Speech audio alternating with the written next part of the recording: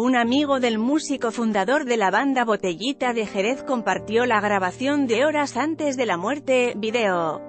Twitter El Víctor Salcido, uno de los amigos del músico mexicano Armando Vega Gil compartió el mensaje de voz que le envió a través de WhatsApp horas antes de que su cuerpo apareciera colgado de un árbol en su domicilio en la colonia Narvarte de Ciudad de México.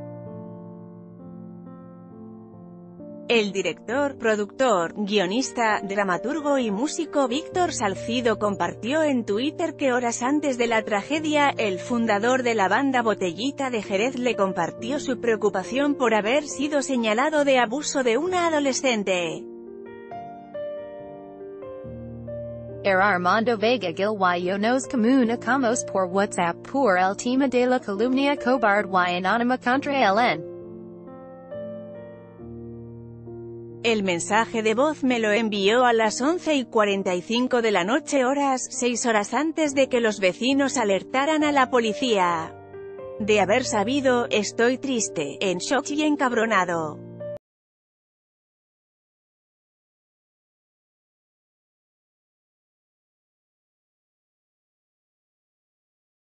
Ya no tengo credibilidad como músico y fotógrafo y como escritor, que aparte, la mayoría de las cosas que hago son para niños, ¿no? Y adolescentes, entonces, me voy a quedar sin trabajo.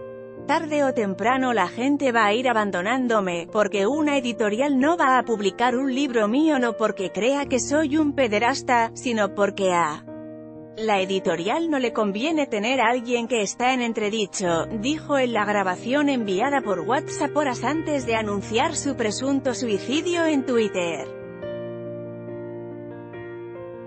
Le preocupaba su credibilidad el músico y escritor dijo que con las acusaciones lo hicieron polvo, foto, Facebook.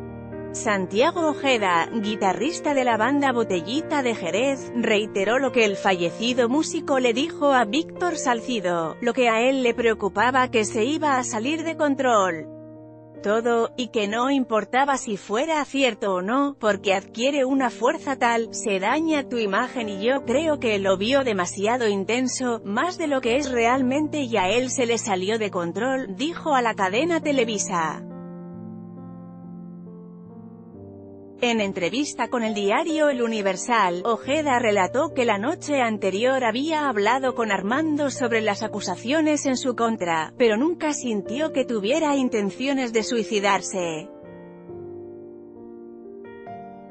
Nada más tenía, mucha preocupación, mucho miedo, estaba bastante aterrado porque esto se iba a convertir en una situación fuera de control. Lo que él decía que no importa si fue real o no real, ya no me acuerdo y por supuesto él no se acuerda, se hizo que remotamente había ocurrido eso. El problema es las reacciones y la credibilidad, eso le importaba mucho, porque trabajaba con niños, hacía proyectos de música para niños cuentos, entonces empezó a panicar. En su último texto desestimó las acusaciones. Una chica me acusa de abuso y acoso.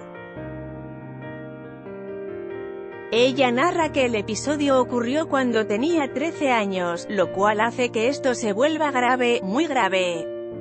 Bien, lo afirmo categóricamente, dicha acusación es falsa. El cuerpo del músico será velado en una funeraria de la colonia Roma a partir de las 9 de la noche horas en Ciudad de México. La Procuraduría General de Justicia de la Ciudad de México, PGJCDMX, abrió una carpeta de investigación por el delito de homicidio culposo por otras causas para resolver los detalles de la muerte del fundador del grupo musical Botellita de Jerez.